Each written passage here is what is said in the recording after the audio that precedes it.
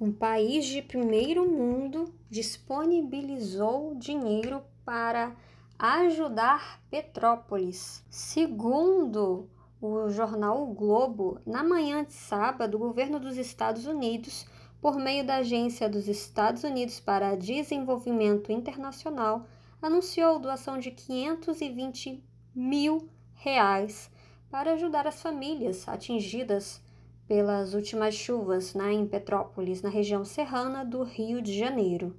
O dinheiro será usado para a distribuição de kits de higiene pessoal e limpeza aos desabrigados.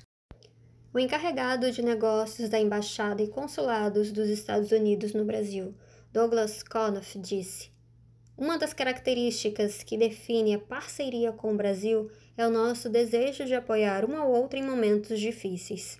É desolador para todos nós ver essa tragédia tomar conta de Petrópolis Prestamos nossos sentimentos de pesar e solidariedade a famílias das vítimas e desabrigados.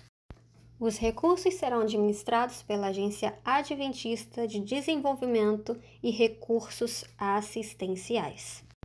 Para mais informações, se inscreva no canal, ative o sininho e até a próxima. Gratidão. Tchau!